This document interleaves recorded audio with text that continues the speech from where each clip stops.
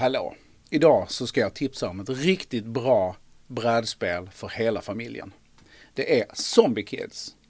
Zombie Kids är ett samarbetsspel där du och eh, medspelarna spelar fyra barn som måste rädda skolbyggnaden från invasion av zombies.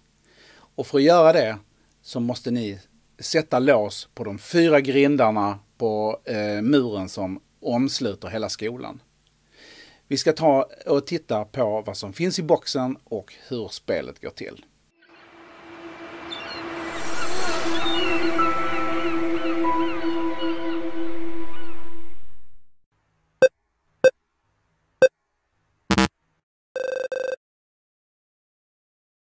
Vad finns det i lådan när man öppnar den? Jo, först och främst så finns det en spelplan. Den spelplanen har två sidor. Den första sidan Eh, är en nattsida och den är för två spelare. Och andra sidan är en dagsida och den är för mellan tre och fyra spelare. Vi tar och använder oss av nattsidan för två spelare. Och vad finns det mer då? Jo, här är en låskort. Det är tanken ju att man ska låsa eh, de här portarna med dem. kommer vi till sen. Det finns en tärning som representerar de olika färgerna på rummen plus en vit sida.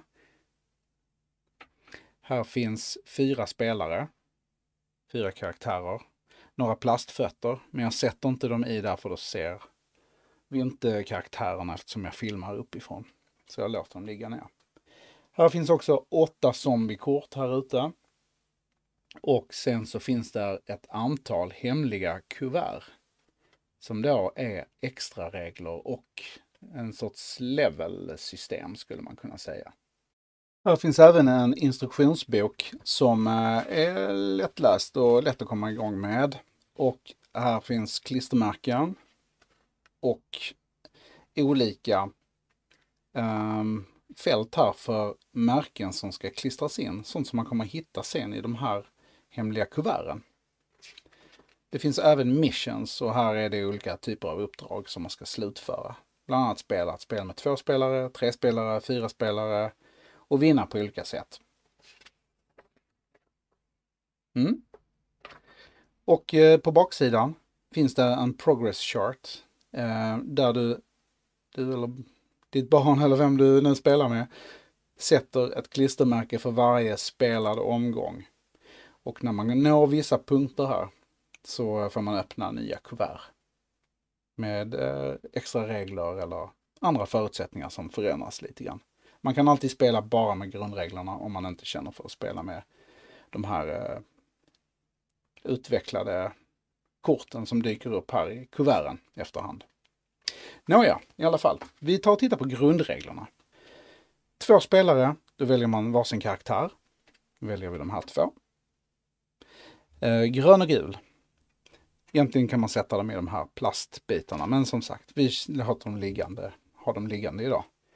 Och sen så sätter jag ut då zombies i varje grind. Så här står zombiesarna och vill in. Sättet att vinna på det är att sätta ut låsen i alla fyra portarna. Man ska ta bort zombiesarna och sätta ett lås. Och att sätta ett lås gör man genom att båda spelarna måste befinna sig här ute på, på skolgården. Då kan man göra en high five och sätta i låset. Um, det här eh, behöver ju koordineras på olika sätt för att inte de andra rummen ska fyllas med zombies under tiden som man springer ut på skolgården och sätter i de här låsen. Så att vi får se här hur det fortgår. En av spelarna börjar slå tärningen. Röd. Då tar man en zombie från den här zombie-reserven här, lägger i det röda rummet. Och sen så måste då en spelare flytta.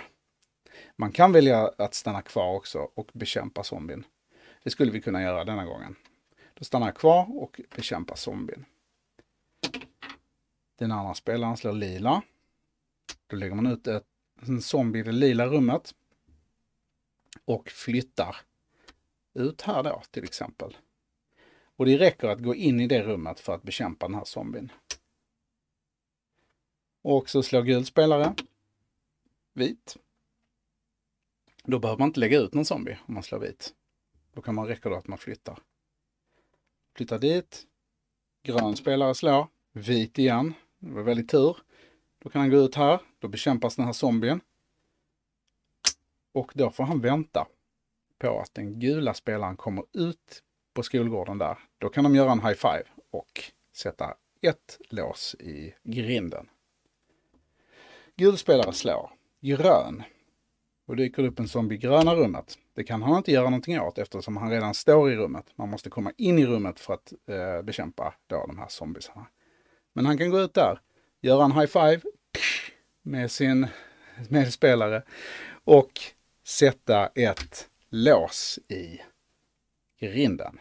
Sådär. Då fortsätter vi. Grön spelare. I gröna rummet dyker det upp en zombie till. Är det så att det här rummet fylls med tre zombies, då är det rummet låst. Då kommer man inte kunna gå in i rummet eller gå igenom rummet eller på något sätt eh, befinna sig där. Så då måste man helt enkelt gå runt om det rummet, vilket gör det såklart svårare. Dessutom så kommer ju de zombiesarna inte tillbaka till poolen eller den här reserven. Så, så eh, det blir ju ett hetsigare spel så att säga. Grön slog det här. Och eh, då flyttar han. Och då kan han flytta från eh, kyrkogården, jag menar eh, skolgården, och in då i eh, gröna rummet. Och eh, bekämpa de båda zombiesarna. Man kan bekämpa som max två zombies i ett rum. Gul spelare. Slår blå. En zombie där. Vi kanske går ditåt. Grön spelare. Slår grön. Och flyttar ditåt. Tar den zombien. Gul spelare. I gula rummet. Och så vidare. Ja, han flyttar ett steg här så. Och så vidare. Är det så att zombiesarna här ute tar slut, då förlorar man. Eh, sättet man annars vinner på det är att sätta alla fyra låsen i grindarna. Då har man vunnit. Och när man har vunnit så sätter man en liten litet klistermärke här och eh, fortsätter följa och öppna alla de här kuverten under, efterhand som de blir tillgängliga. Det här är ett jättekul spel. Eh, mina barn som är sju och uppåt tycker det är väldigt kul att spela och föräldrarna tycker också det är väldigt roligt att spela för det är lite spänning, koordination, samarbete, planering. Och eh, förlorar man så förlorar man tillsammans, tillsammans vilket annars kan vara lite känsligt för eh, våra barn åtminstone. Yes, eh, jag rekommenderar det här spelet. Eh, gillar ni samarbetsspel och vill spela med barnen, köp detta. Ha det så bra. Tack, hej!